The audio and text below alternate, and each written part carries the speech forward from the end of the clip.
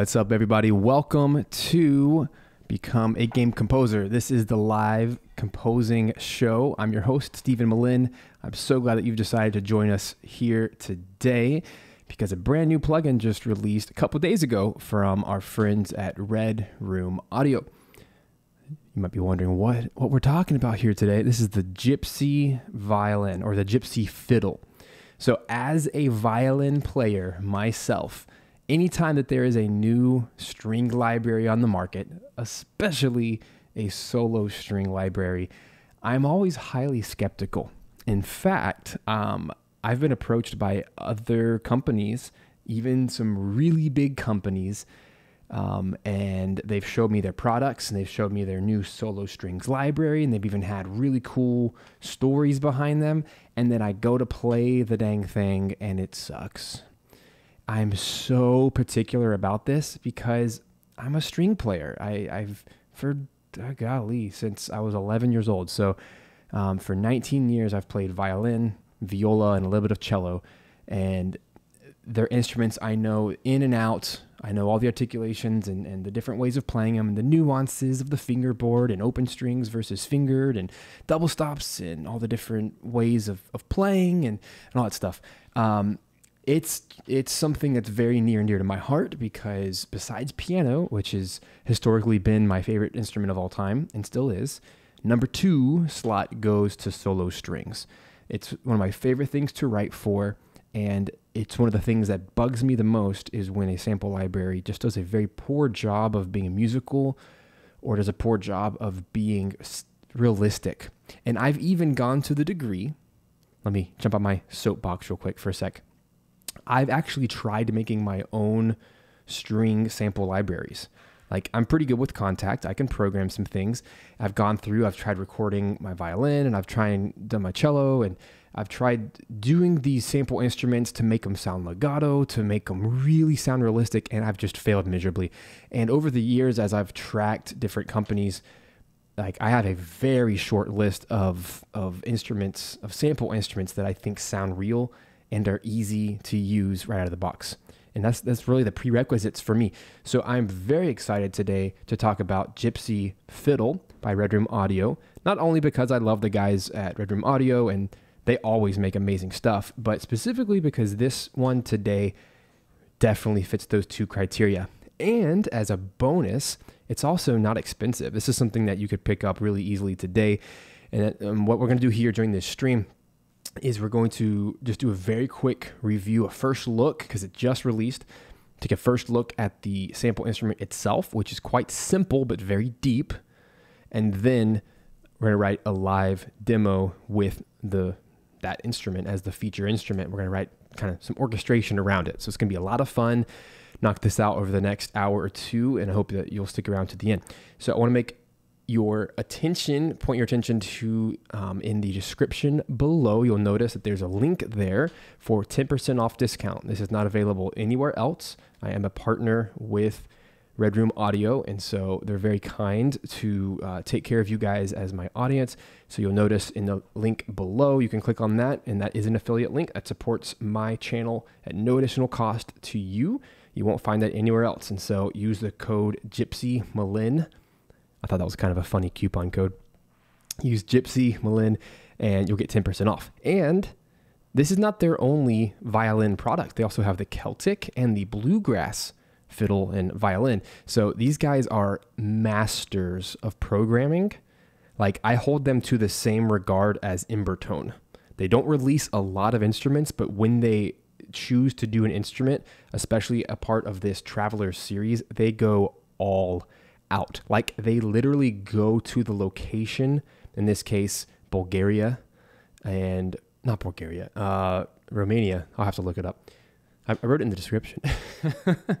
uh, but they, they literally go to on site, on location. They find a master of their craft in that city and they really capture the essence of that sound. And it, it's just so phenomenal to me. Um, where was I going with that? I don't know, but use that link in the description. And if you want to check out some of the other Red Room audio products, we've talked quite a bit about Palette, about Symphonic uh, Palette, Symphonic Sketchpad, and those different packs. We've talked about um, Saga, which is their trailer percussion, um, and of course, now we're talking about the Traveler series and these solo instruments. So there's a link in the description as well that you can use 20% off to get any of those products as well if you want to kind of explore some some of the other things they have. Highly, highly recommend it. Um, and I know Dicky personally; he is the um, the head of Red Room Audio, and we've had some cool discussions about how he actually creates these products, and it's it's nothing short of phenomenal. His programmers are are top notch, um, and uh, uh, let's welcome everybody here today. Welcome Chance, David, Ruben.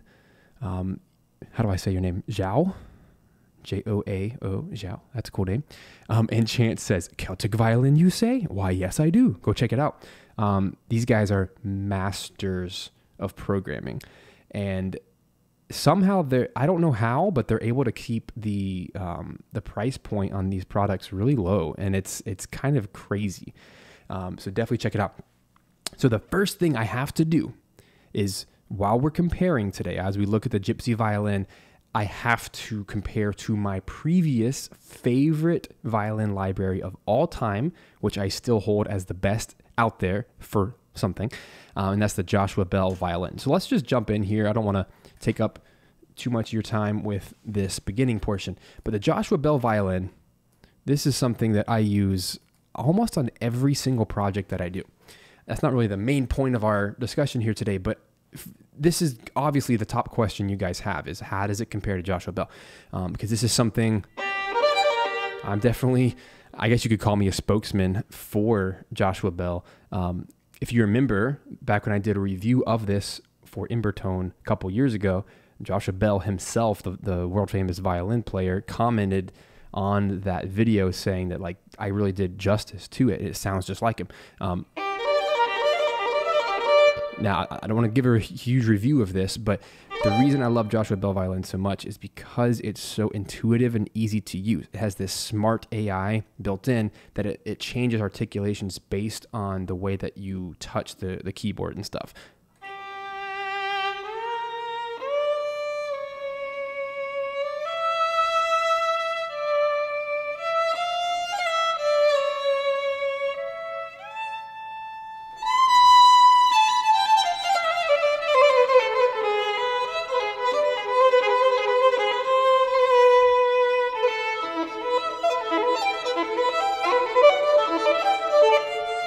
Obviously, it's incredible, right? And I talk about that all the time. It's something that I use in almost all my tracks. However, the Joshua Bell violin is a very Western style instrument. It's Joshua Bell, right? This is like classical music. This is that traditional European sound. And it is highly usable, and this is something I still use in almost all my productions. However, it's not um, a truly Eastern sound. And so sometimes you just need something different. And what I love about the gypsy violin, this is why we're here today, is this thing is just as easy to play.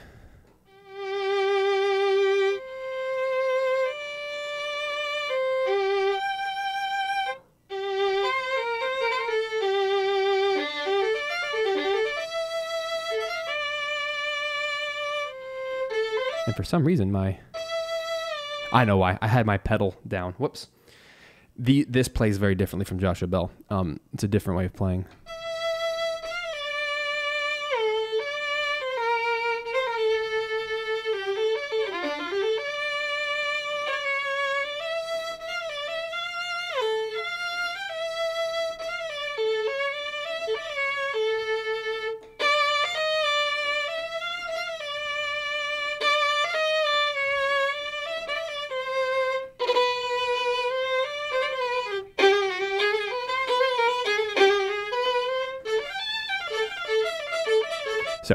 This is an incredibly deep library, and I don't have time to go through every single little facet of it, um, but I highly encourage for anyone interested, if you want to go into a 20 minute deep dive of this, highly encourage you to head over to um, the webpage, which is linked below in the description. This is the Traveler Series Gypsy Fiddle. And if you scroll down right here, there's a YouTube video. It's a video walkthrough. Um, and just kind of walk you through the history of, of that's Dicky, and that is their violinist. Um, and I want to confirm this. It is in uh, Bulgaria. Yep. So Sofia, Bulgaria is where they recorded this. And he goes literally just through a deep dive of how every single one of these different uh, parameters and features you can do, and it's really, really deep and it's amazing. Um, I also highly encourage anyone who purchases this to check out the user manual, which I have pulled up here today because it's really hard to remember what all the key switches do, which is here. Um, it's not a short, it's not a long guide. It just kind of gets right to the point. But what it does is it kind of goes through each of the key switches, which are all these different guys right here, all the different colors and it just kind of defines what every single key switch does and how you can effortlessly combine these different elements to create a highly customizable playable instrument just for you. So it, it, it takes a little bit more time up front than say Joshua Bell, which you kind of pull out of the box and it sounds beautiful. But the Joshua Bell style is legato. It's like it's all about the virtuosic side. But what we're trying to do with the gypsy fiddle is we really want it to sound very raw and like a street gypsy, right? It's supposed to have this very playful vibe. So what we're trying to do is replicate this sound of really short, fast notes and double stops with pizzicato and uh, staccato and spiccato and trills and accents versus vibrato and then all these little flourishes. How the heck are you supposed to be able to do that musically and transfer between all these different things unless you have a clean engine that through a key switch will change on the fly. So, a few parameters that we really have to jump into to even understand how to use this. Um, I'm gonna do my best here because I'm really gonna summarize, but there's a really cool engine that runs the whole thing. So this first page that we see is the the main instrument itself. And there's a lot of buttons, there's a lot of key switching and stuff. But the main thing you got to know is the C keys here are the different articulations. So it's basically long, which are your sustains, trills, spiccato, and pizzicato. So I can go to any of my notes. Let's just play a little passage. And you'll notice this is so cool. Look how it says velocity 26 to 115, velocity 1 to 25, velocity 116 to 127. So these three patches are actually one and the same. So how hard I push the note actually changes which of the patches it goes to. And then there is a portamento automatically programmed in that if I play uh, softly and connect my notes,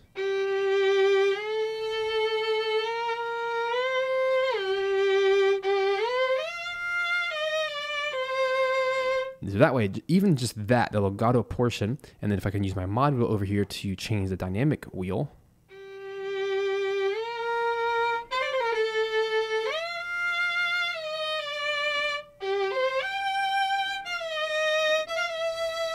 So that's kind of what is going on with that first section.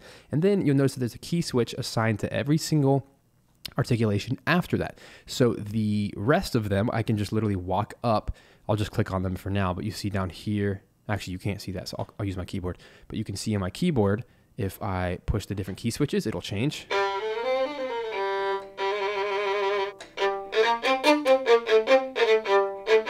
Right? And then here's pizzicato.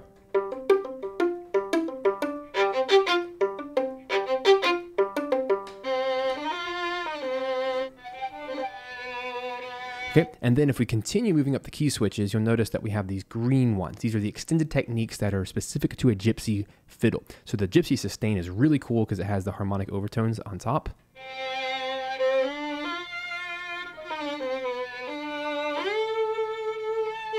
Very usable, especially the high range.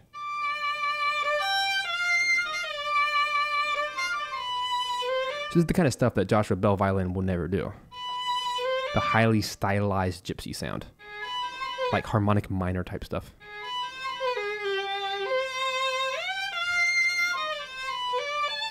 That kind of thing. And I'll kind of move up some of these. Um, here's a gypsy trill. I can find my key switches. That's why having the manual open is good just to refer to.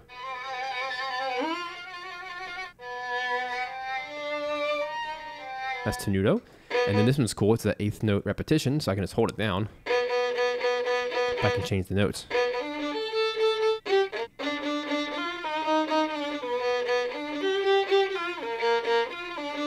Right? And yes, uh, uh, Zhao, if that's how you say your name, it will fit. He says uh, it will fit really good in Western bar fights. Yeah, that's true. 16th notes.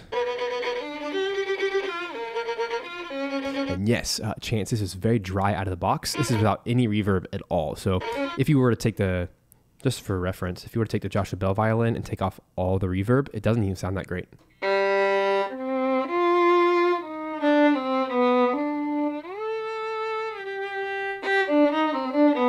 So actually, the reverb is doing a lot of the heavy lifting.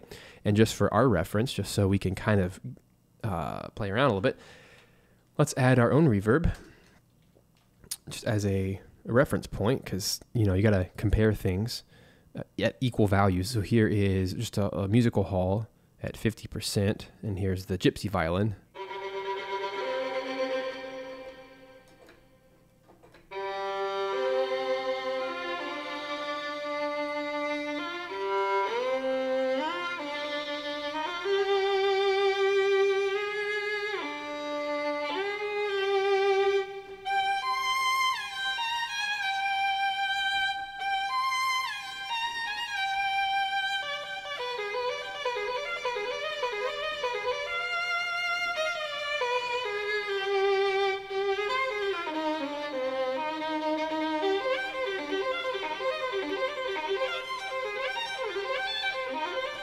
It, can do every bit of the, the nimble stuff. It just doesn't have reverb baked in. So I'm gonna turn it off so we can, you know, hear exactly what's happening. But that stuff is nice and it's interesting, right? The extended techniques are pretty cool. But my favorite part of this whole thing are the red keys because these are um, ornamentations. And I've never seen programming like this. So pay attention. This is really interesting. And I hope that other sample libraries will learn from this and start implementing this because I think this is the one one of the most musical ways to implement a style, a stylistic uh, way of playing naturally into MIDI. So check it out. So this, for example, the horse ornamentation. If I go to the key switching of C1, which is I guess this one. Yep, there it is. So here's what happens. If I hold down the key, well, let me let me reset. We're, we're on a sustained patch, right? This is back to this original idea. That's like out of the box. You open it up. This is what it sounds like. Good, not the best. It doesn't necessarily sound like a gypsy fiddle. So what we can do is we can use these little ornamentations. And here's the best part. When I hold down the key, so I'll hold down the C, which controls the horse ornamentation. The next note I play will throw on the ornamentation for that one note only. See? And then I can let go of it and keep playing. This is cool because it doesn't steal the show. What it does is it just inserts the ornamentation to whatever key I want. So let me just play a little passage.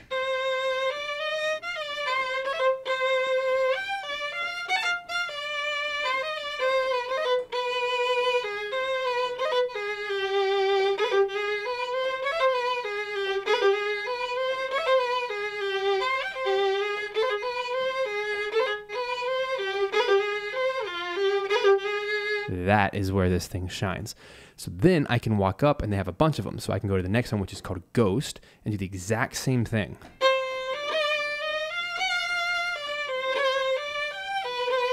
And of course, I can bounce between the two.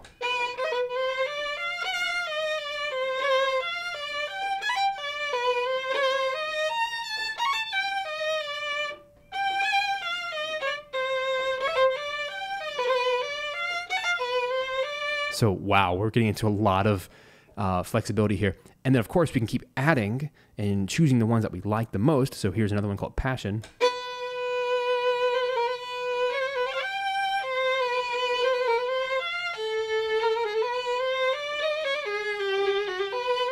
you see how it starts to get a little bit microtonal, which is more of that Russian style. It's that Eastern sound of we're bending the pitches between the pitches. So, we can have a beautiful melody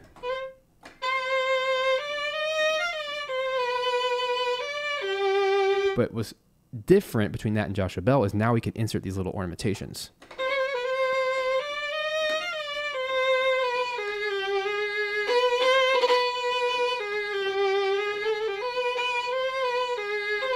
Isn't that cool? Um, and then there's a second page of articulations. This is this one's called the Chartist.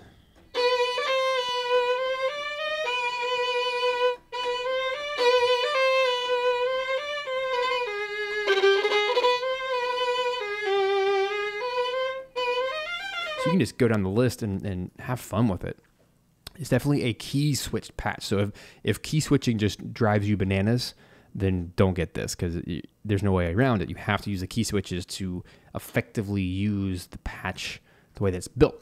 Um, but of course, you could always write your line of music. You could write a melody with your MIDI, play it in, whatever, and then you can go back and just do key switching on the bottom of the automation to make sure that it's constantly changing to the ornamentations you want. But that's what's so neat about this is I don't have to change the way that I play the melody. So let's let's take a very famous melody like I don't know, Twinkle Twinkle Little Star. And then let's add the ornamentations. Whoops.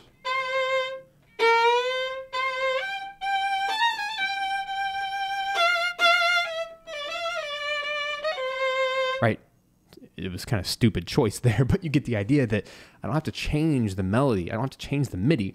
I'm just adding these different key switches that help to add some flourish. So that's the main, that's like the meat of the of the instrument here. But there's some other cool nuances that are worth mentioning. So we have these three buttons up here. This first one it represents the four strings of a violin. So there is a key switch. Let me show you the full page here. There's a key switch here. It's G sharp. It's so it's like the very top of the range here. So let me get to that. And you know you found it if when you hold it down, there are these little light blue, this little cyan color pops up. So there are four keys, one that represents each of the four strings of a violin. This is so brilliant. Um, this is this is something I wish people have come up with before, and this is actually one of the the stumbling blocks and one of the reasons why sampling has not reached the level of realism that we need as string players. Because check this out. I'll take this back off again. So what's going to happen is when, I, notice I'm holding down the key and then the blue ones pop up. So what's going to happen, let me drag this up so we can see my fingers as we play. Otherwise, this gets really confusing if you can't see my hands. So what I'm going to do is I'm going to play a little line. So let's play something low, like on the G string of a violin. It's the lowest string, right? That's the open G. So if I play a little line that gets high, it should sound like this.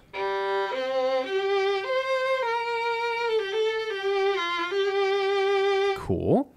And so what happens if I hold down that key? What's going to happen is it's going to extend the range of the G string because most violin players, especially pros like this, when they're playing really difficult stuff, it doesn't make any sense to shift your hand back to first position or root position to play the next string because what's what is more natural is to continue playing high high high high high as your fingers go up on the string and that's just how you play quickly and more virtuosic. So they actually have sampled every note on every string and they overlap each other. So instead of playing the G string to the D string, which is what a normal sample library would do, which is the default, if you hold down this key, now the range has, an has been extended and it has a much more stretched and like distressed sound. So let's play that same thing. I'm going to hold down the key.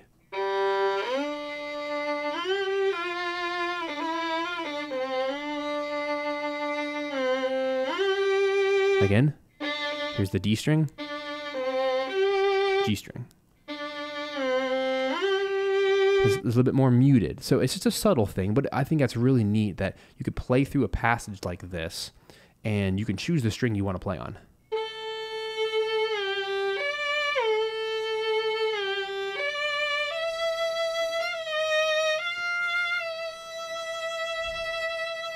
pretty cool. So that's a cool feature. And you'll notice how when I hold down one of these keys, how it lights up at the top here, this little four string thing. It's just showing you which of the four strings you're actually on in that moment. The second one is this little legato, this little slur. So by default, when I play quickly, or I play portamento between two notes, it's going to create a slur. So naturally, you would go you go down bow or up bow. And what's cool about this is I can change the rebowing option from new, which means every single note I play, which is this up and down arrow thing.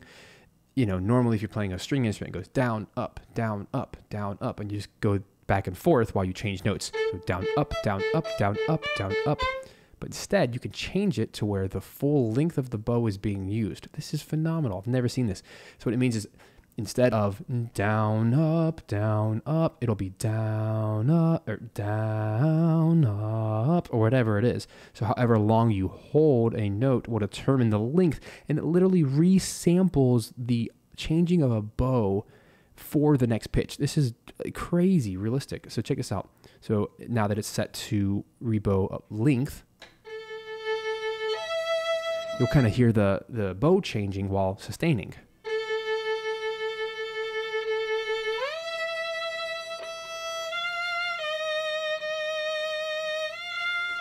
So what it's doing is it's emulating a forever slur, which is really cool until, of course, you let go of the notes, then it would start the next bow. So it's very smart. And then on top of all of that, again, I don't have time to go through every little parameter here, but on top of all that, um, they have a, where is it? Let me find it. Oh, there's so many cool things about this. I mean, let's just walk through. So we have dynamics. So that's obviously the mod wheel. That's how loud it is. The width controls if it's going to be um, mono, like in the center, which is a much more realistic recording. But if you want the full take over the world stereo, do a full 100%.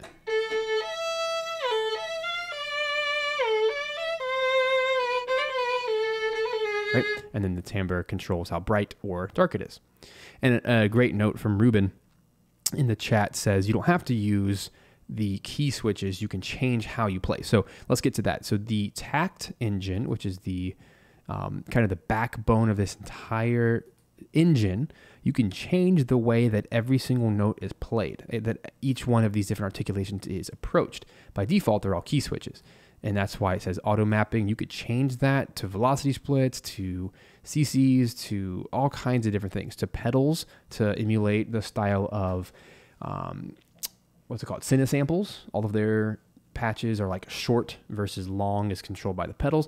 So you can actually go through and do all of that. You can even decide for um, any of these articulations that instead of holding down the note causes it to trigger, you could actually just do latch. You push it once and then for every note after that, it's going to continue being that articulation. That's what this this latch button is for. So you can just turn that on or off as you wish. You can change from key switching to velocity switching to bending to ranges to pedals. So this thing is fully customizable. But if you just open it up as is, then it is going to be uh, strictly key switch based. So that's what that is all referring to. So this thing is crazy deep. And one more um, oh, this is what I was going to talk about earlier. The mode is really special too. So if you stick to mono, it'll be what we just showcased. Where you have to basically push everything manually. But if you move this to polyphonic, then you can play two notes at once.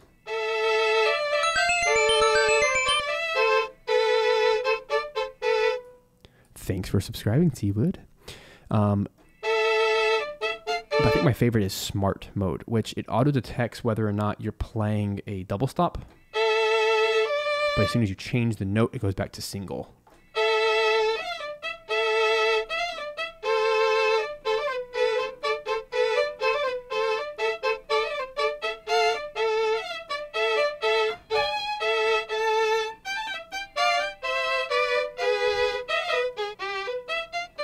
But it still keeps all the articulations I play. So I can keep changing.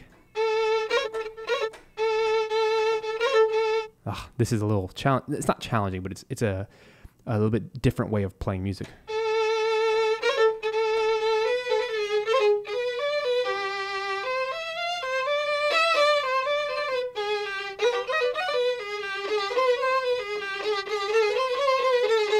And you can also change, is crazy too. If you're holding it down, you can actually change the direction as well to go from up to down. So that same uh, little horse, for example, or ghost in this instance.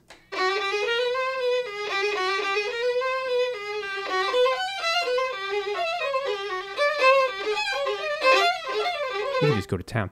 And then the final mode here is DS, stands for double stop. And in here, you can actually change whatever you want to. And what it does is it automatically maps the keyboard to double stop intervals based on a key.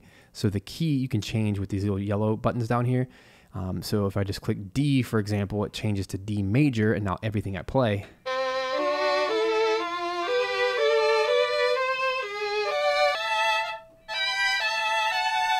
pretty cool. Of course, you can match this with any of your articulations.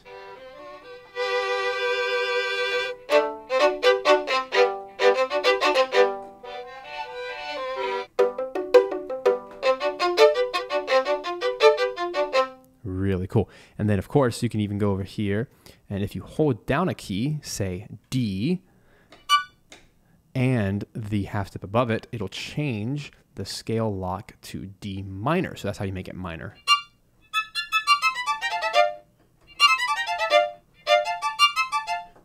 So again, there's just, there's a lot of interesting ways to control this thing.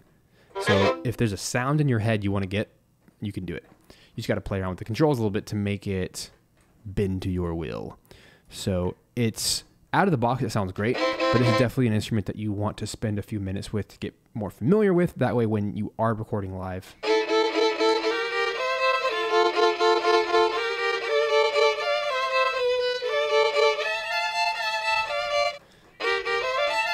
I think my favorite is to kind of stick with the shorts and the longs.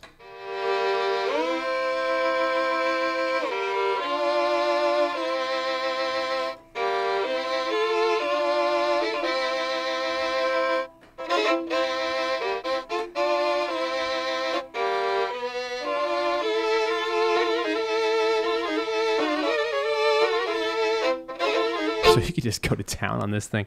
So it's a lot of fun. I know I just spent 30 minutes talking about it, but it even goes deeper than that, especially when you start talking about the TACT, the articulation setup here in the middle, where you can just go to town controlling how things work. And then, of course, there's this uh, effects rack as well. You could add, if you want it to sound more like an electric violin, you can play around all day with distortion and that kind of stuff.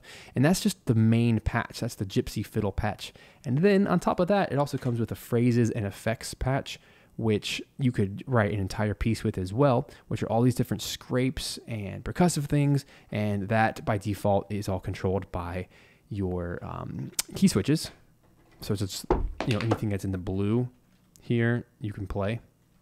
So you could have different percussion things.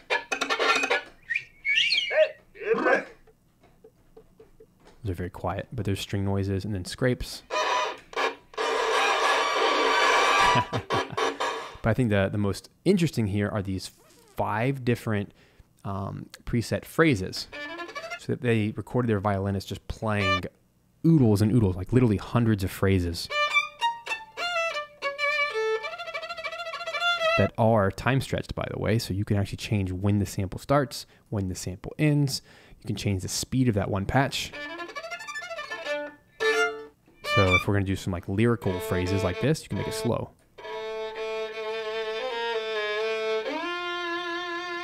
You can change the tuning of it to change the key. Of course, if you time stretch it too much, it might sound a little bit weird. But it's pretty dang cool. So it allows you to go up or down speed of 30%, and then you can just instantly on the fly change the tuning of it. Change the volume and all those sorts of things. So I think it's pretty darn cool even the runs and the arpeggio, arpeggios here. Very usable. Like stuff like that, like crazy fast pizzicato scales. That's super usable to throw in in little, maybe like the, the fourth bar of a phrase. We might play around with some of that stuff. That's the stuff that a sample instrument is going to have a really hard time emulating, right?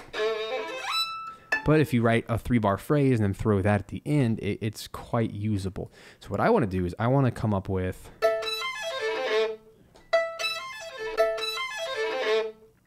I want to figure out what key that one's in. Which means I have to reset all the things, how I've played with it quite a bit. I think it's A minor. Yep.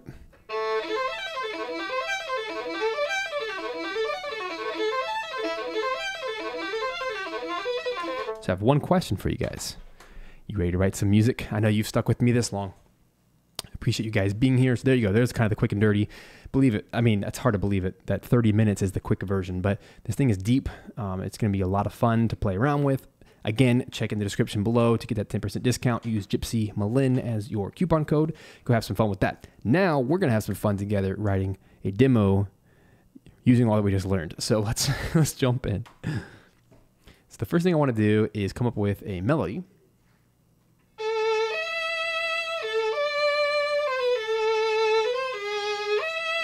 And I want to do something in harmonic minor, um, that's very much the gypsy style.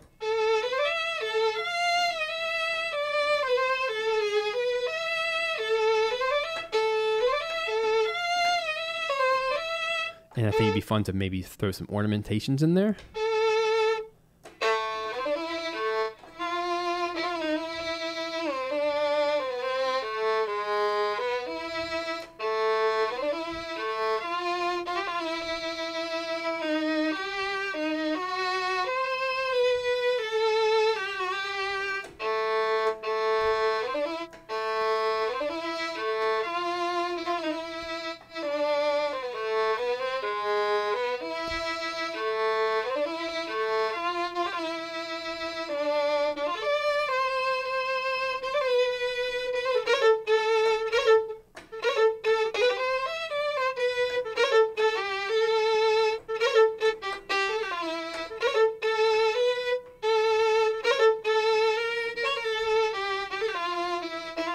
Is a thing called a gypsy scale. I'm not sure if you guys are familiar with that. So a harmonic minor scale is when you just play a minor scale, like an A minor. You take the seventh note and you raise it up a half step, so it'd be a G sharp. The gypsy scale also adds a flat two and a sharp three.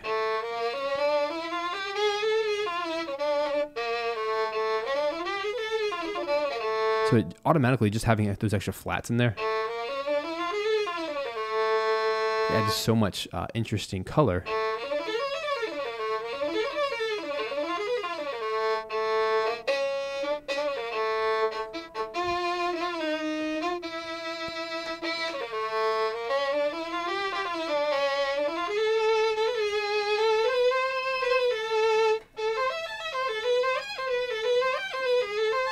Lot of fun to play with this.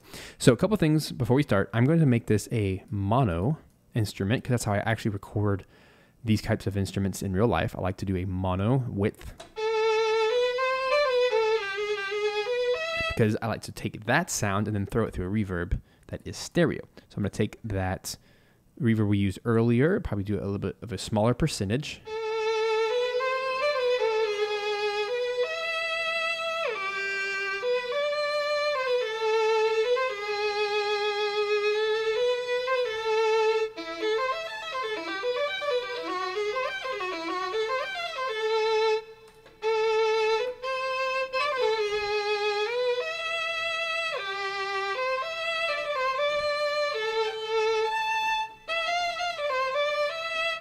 Think we're ready to begin. So I like that. I like that. Um, I think we're good to go, leaving it on those settings. Maybe I might change it to smart.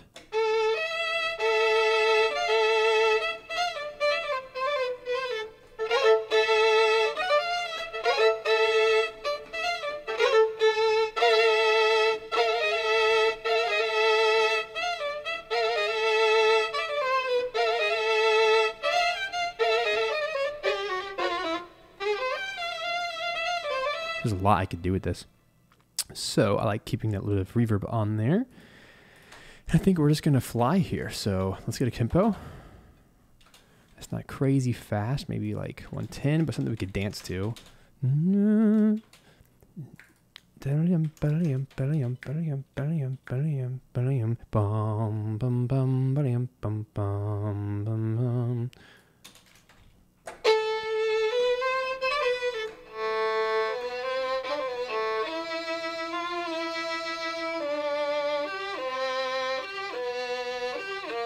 Chance, you're funny. Yeah, I like to talk a lot.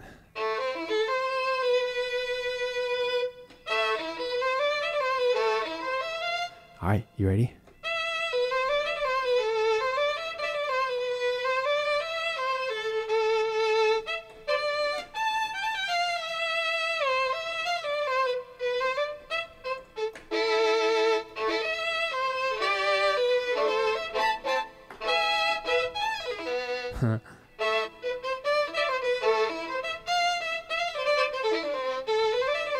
Try to decide if I like that better than the mono.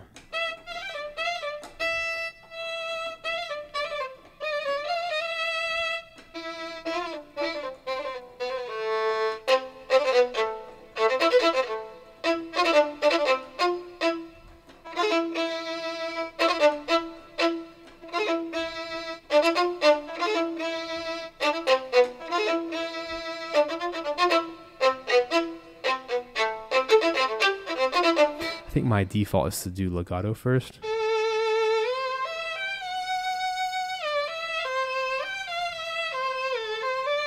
On smart mode. So let's do that.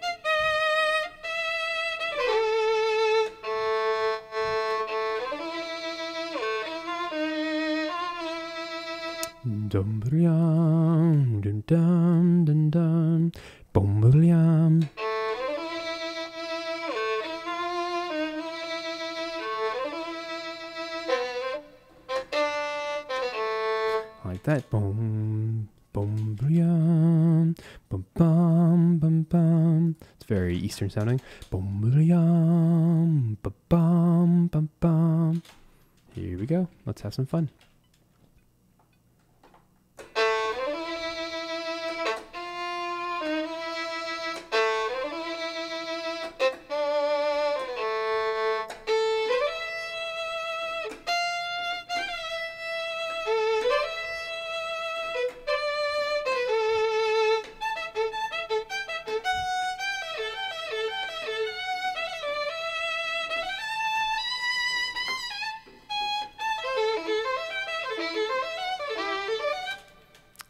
Time. I like the idea.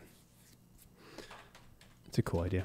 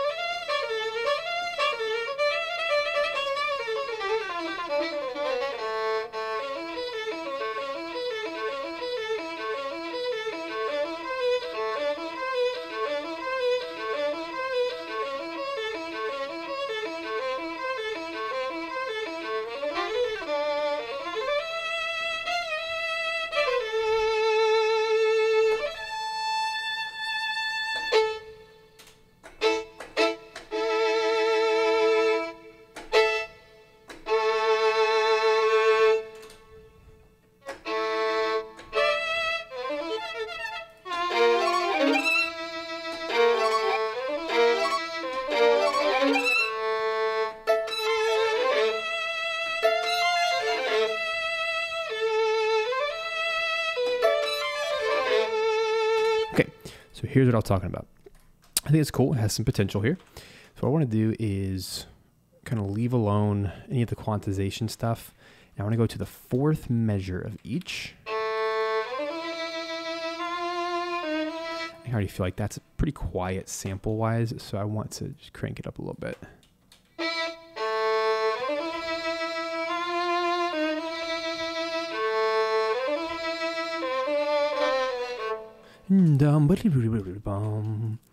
So here I can do this.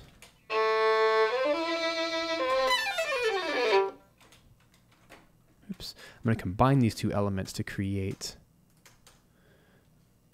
the idea. So I am going to copy over the reverb into the phrases as well.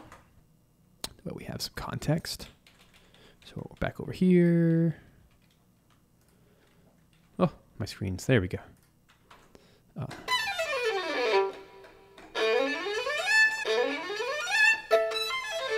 like that one. So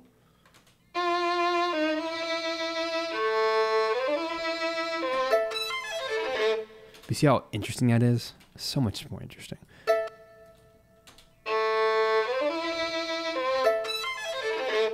That's the kind of stuff I'm gonna. I'm gonna take like a, it take a year to program that for me.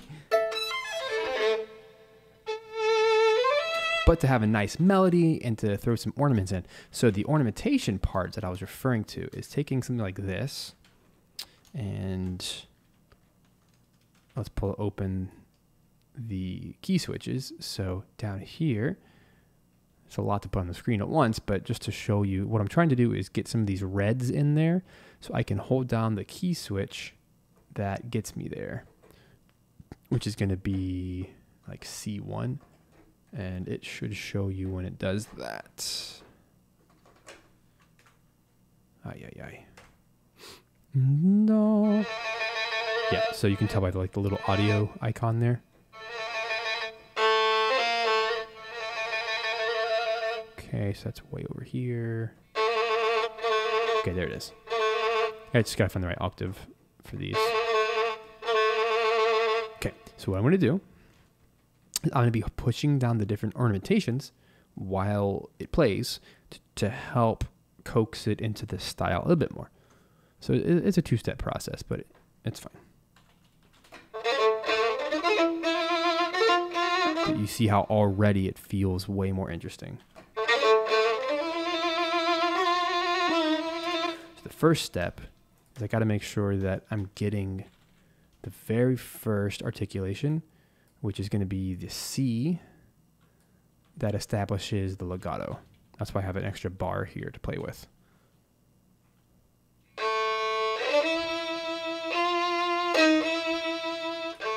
So what I can do is just take these little bits and pieces and I will quantize these as just little quarter notes or even like a 16th note, I suppose. And I'm just going to take these and kind of litter them throughout.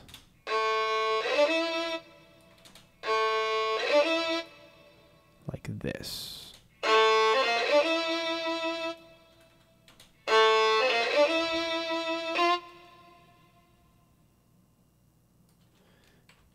And the goal here is to find one of the articulations I like.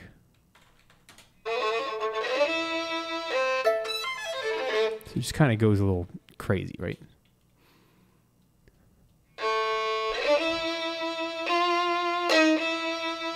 It's like that one.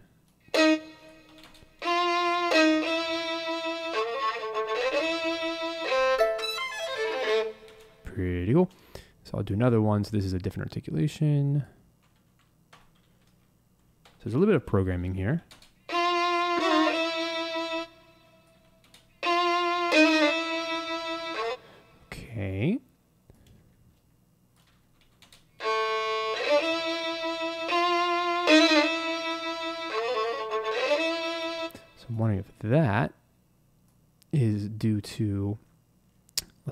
modulation.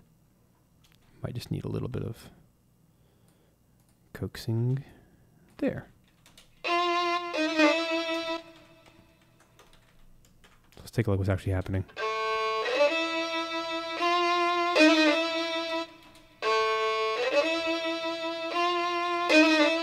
Aha, so it's actually changing on accident.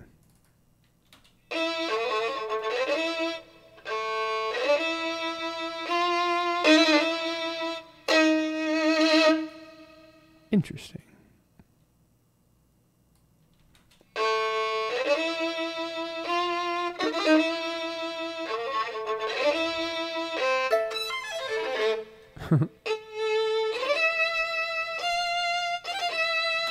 So you can see how you can go as wild or as simple as you'd like with this. Um, but what I'm going to do is pull open some, some quick tricks to, to fill in the background. So I want to grab ostinato, which we will find in um, strings ensemble. There it is. This is from Sonokinetic. Really quick way to write music. Let's see. So we're in what? A minor.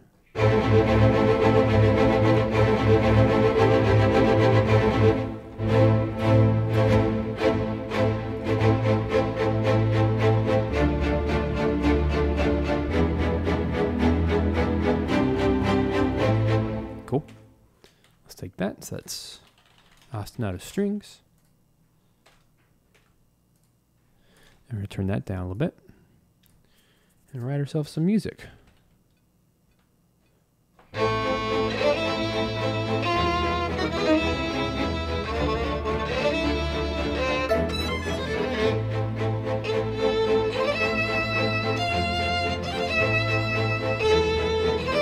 See how cool that sounds.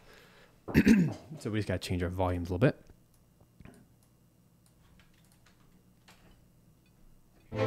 Whoopsies.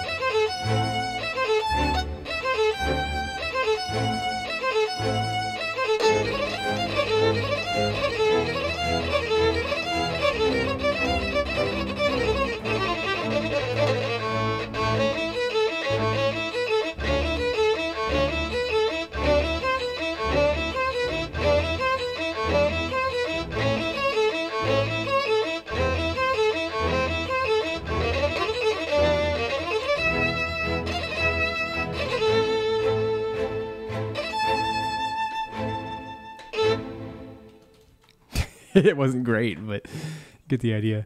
Um, so I'm going to quantize all those. You can adjust it as we need, but you kind of get the idea how quickly you can do something like this.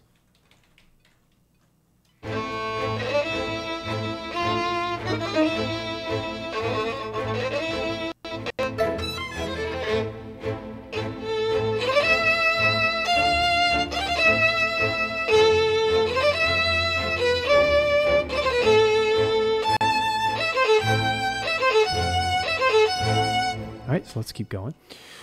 So we're gonna play in this style. It's got to be a little bit goofy. Boom, bum, bum, bum, bum, bum, bum, bum. I'm thinking. I don't even know. Some kind of clarinet woodwind, something.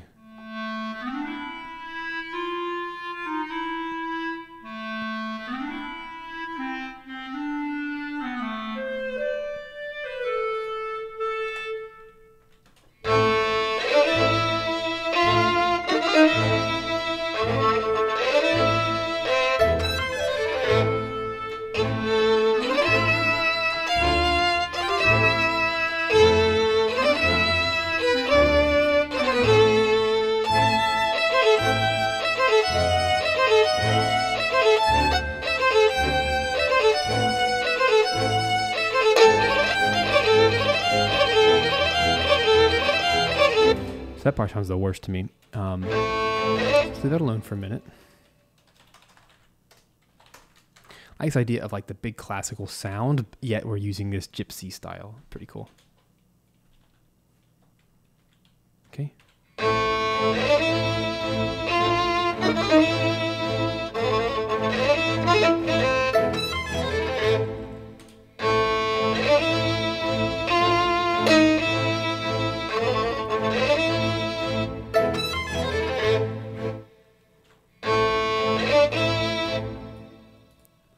do want to quantize that.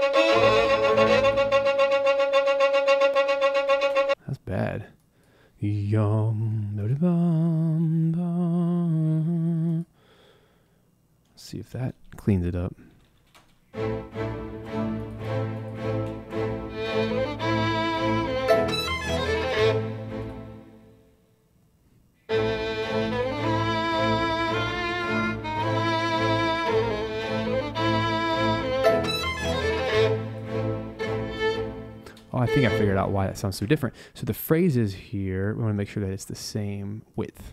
So that needs to actually be mono as well. Now it will say that sound the same. And then make this smart.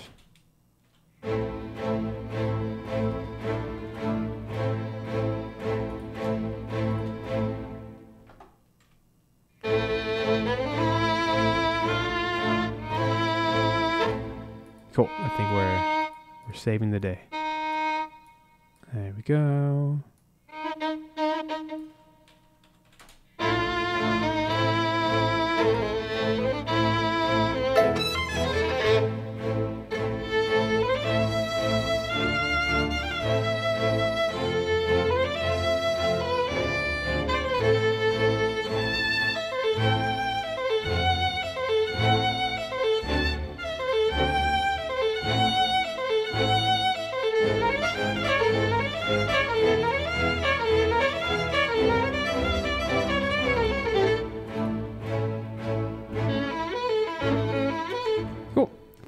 Making some progress here. So let's grab some markers to better identify what on earth is happening. So mark track. So this is A section, it's the main theme. This is our B.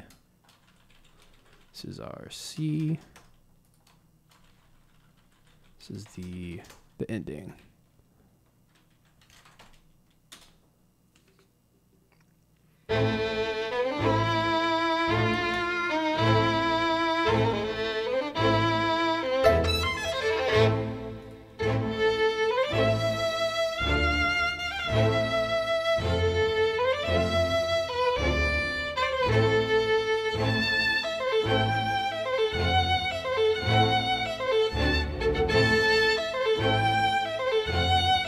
this would sound cool with some uh, repetitions.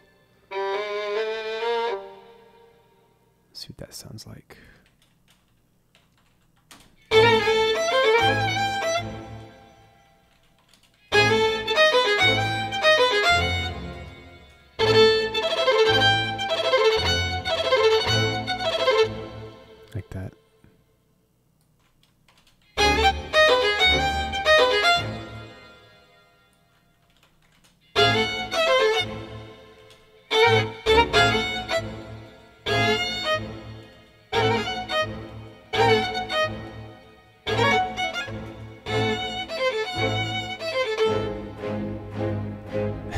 Ha ha ha.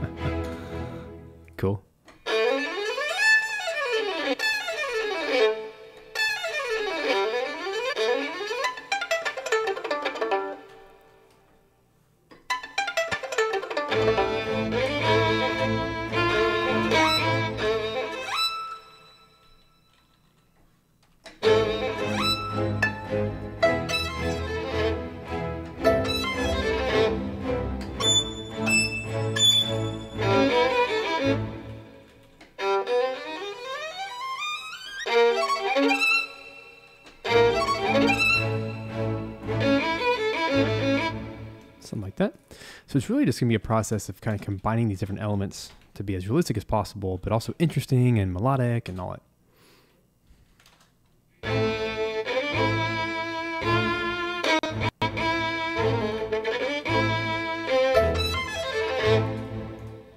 So let's double that with some strings. I'm going to grab some, uh, let's do some legato violins. That'll sound cool. In the background, just kind of doubling the melody.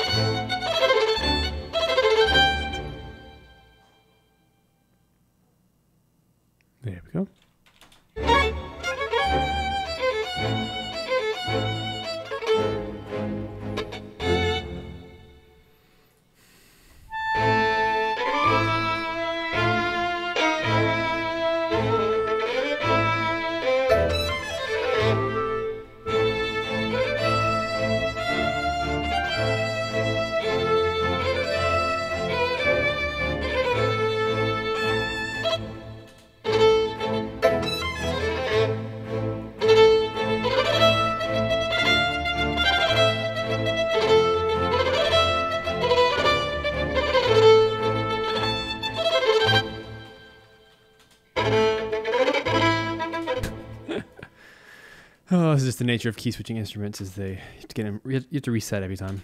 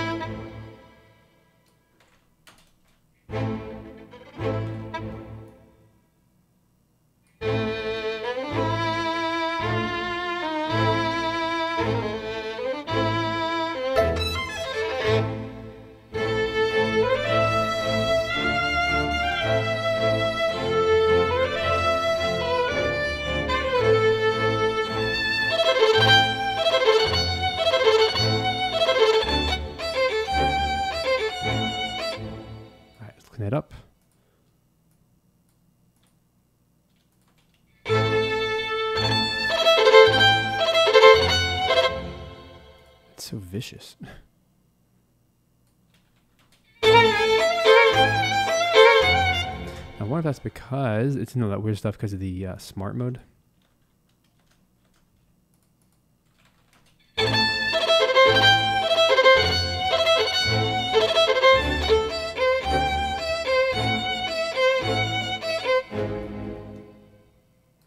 All right, so this kind of thing, it's cool for one measure, and then you got to supplement it with.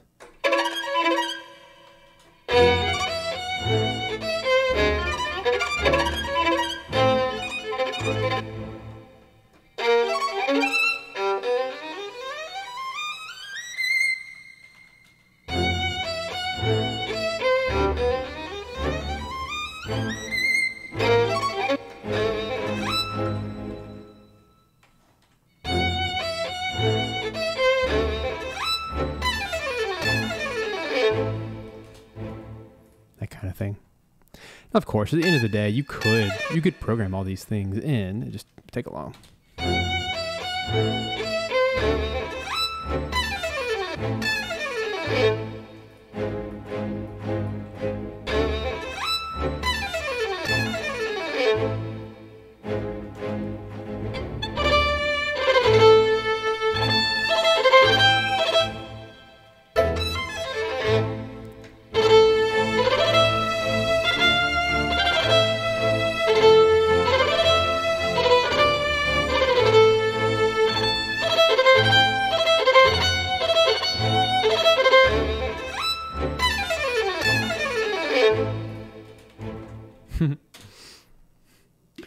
Different direction than I thought I was going to take today.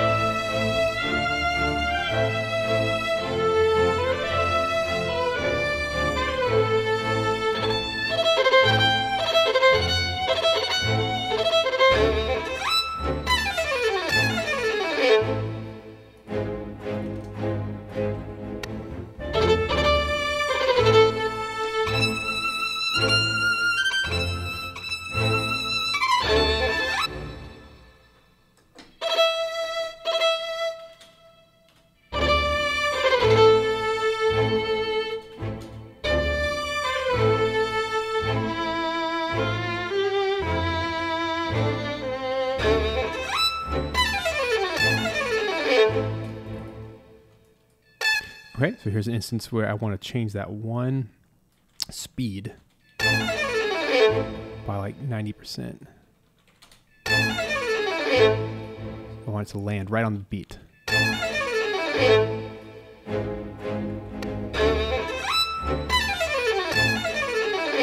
Which means I want the second one, this one to be a little bit slower too.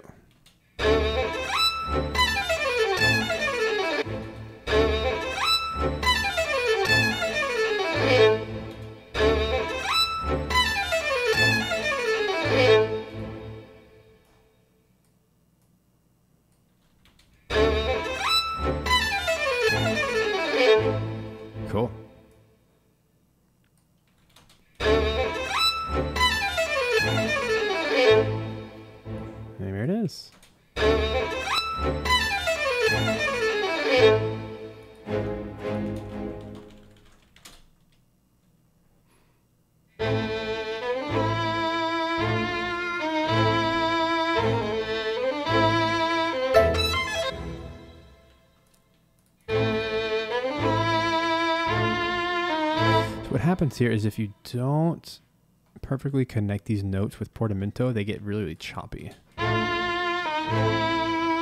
Like that.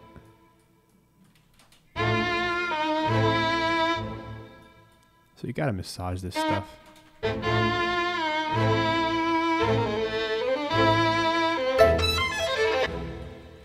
So if want two notes to be connected with the, the bow, you want to make sure that they're touching.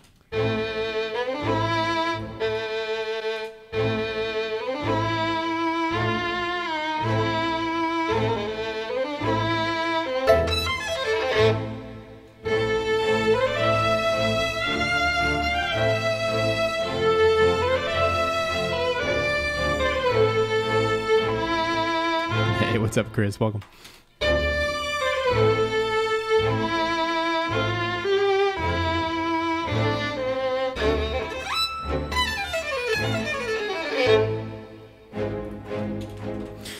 Pretty cool so far.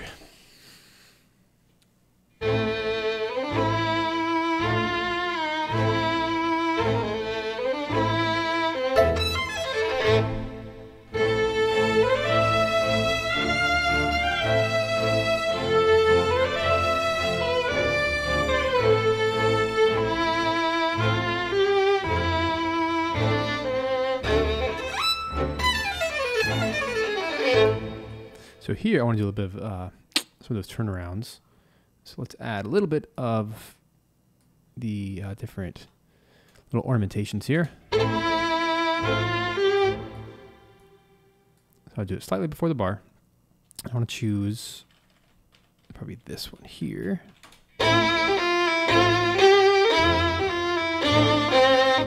And if you remember, we have to go into the TACT here if we don't want it to stick. So what I hear right now is the Sardis um, articulation right here. I want to make sure that the latch is turned off. That way it doesn't continue to play it every single time I play a pitch after that. So I don't like having the latches on. Poisonally. Let's turn those off. Okay, back to the show.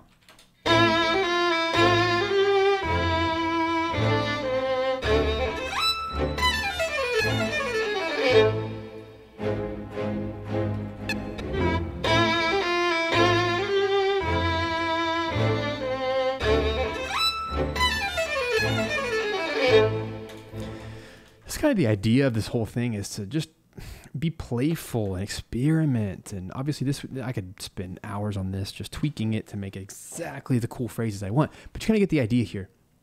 So I want to spend a few more minutes on it, see what else we can do, um, and we'll go from there.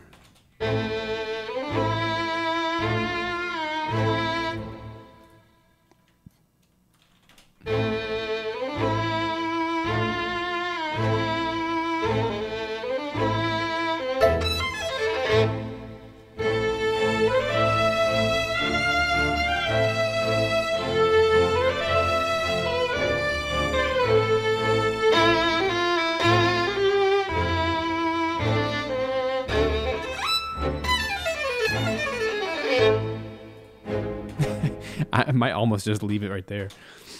Keep it nice and short and sweet. Um, but I do want to add a little bit of brass. I'm actually just going to do. Um, wait for it. Haven't used these in, in a while. I want to pop out. This is the 8Dio New Century brass. I just think it sounds so good. Um, so I'll get out the 12 horns. Let's see if we can double that melody to help add a bit more richness to the mix because right now it's kind of ugh, bare bones. This is also a 50 gigabyte patch. It's going to take a second, but it's one of those things that once it's loaded into the RAM, it's in there until I close the session. So then I could, you know, do 10 more of these duplicate and it, it won't load more. It's one of the new scary things about Kontakt instruments. Is the larger they get, the first one takes forever to load, even on a SSD. It's very, very fast for everything smaller, but yeah, 50 gigs, it just takes a minute.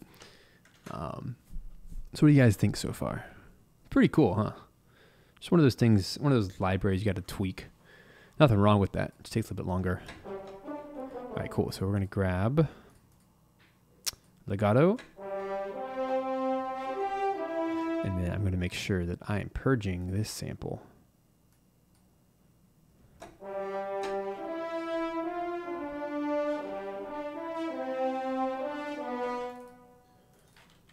Cranking that volume up.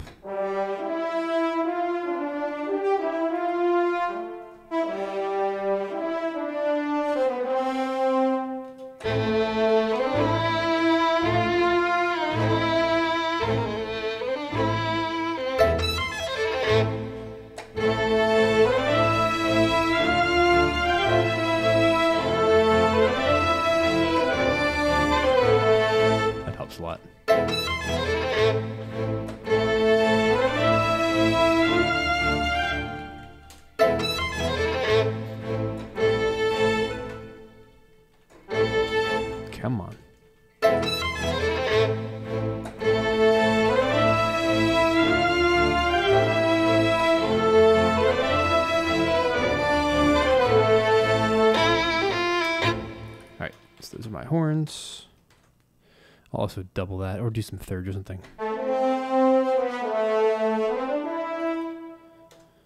right.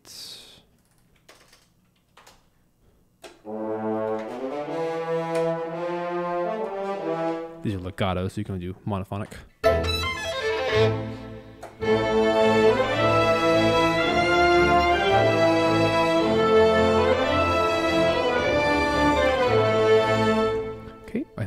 This one is let's see if we can grab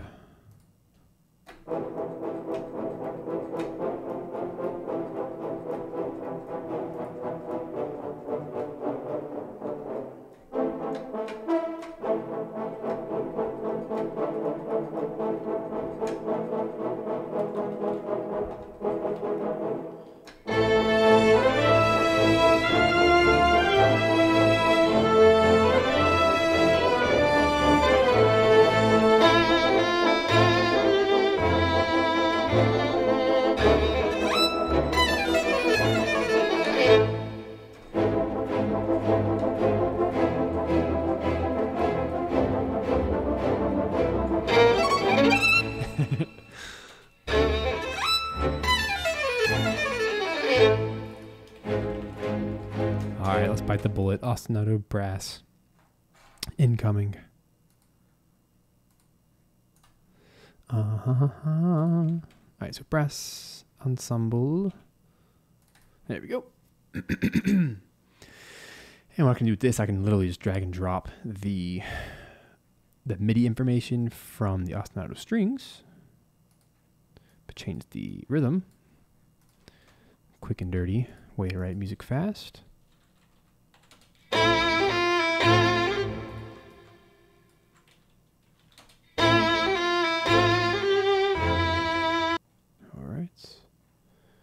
With this, I need to get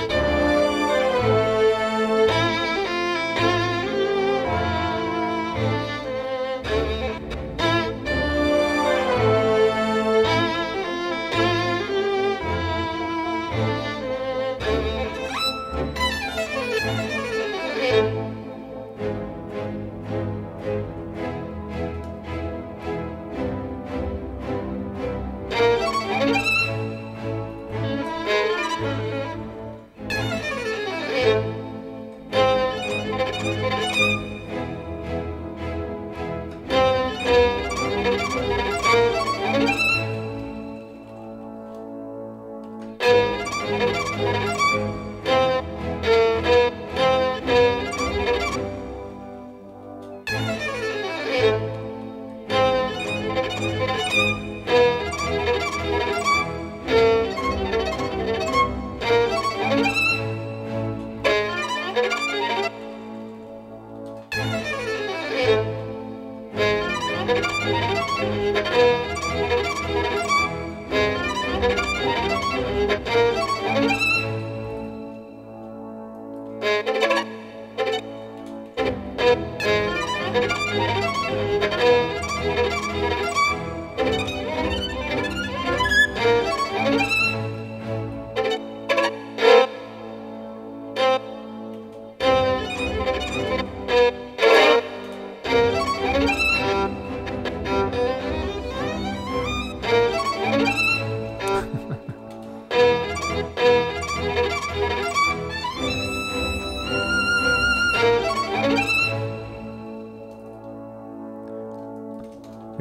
Place today.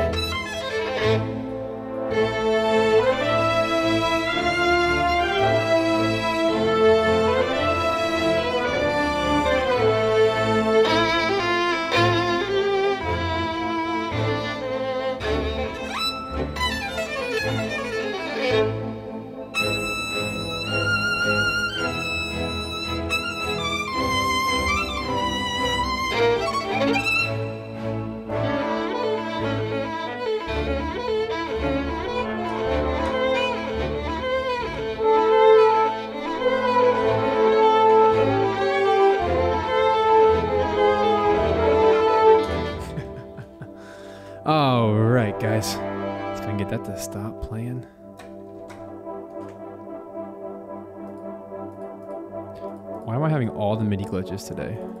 Not cool. There. Are we done? We done? All right, cool.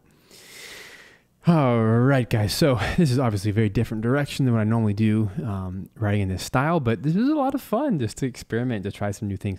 So obviously, uh, this instrument, the gypsy fiddle, is very versatile. It can do a lot of different things, uh, but ultimately, this is one of those instruments that you can really get a lot of mileage out of it, but you have to take some time. And um, it sounds great out of the box, but it's also it's so deep in the different articulations and key switches and kind of setting it up and customizing it to your own liking that it might take a little bit of time just to get it set up the way you like it. And that way you can write a little bit easier.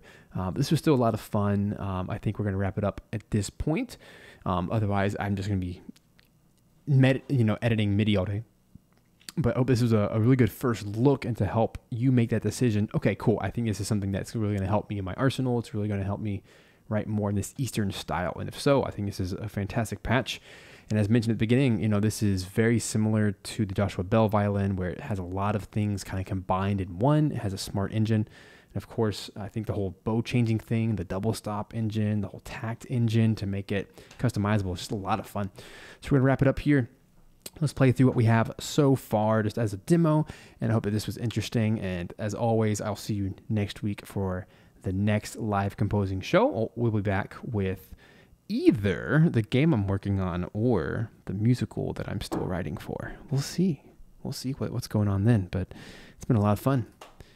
Thanks, guys, for being a part. I'll see you next time. And of course, use the discount in below, or you can use the 20% off for the Celtic Fiddle if that's something you're interested in, or even the bluegrass if you're not 100% soul and gypsy style. Anyway, see you guys next time. Enjoy as we play out.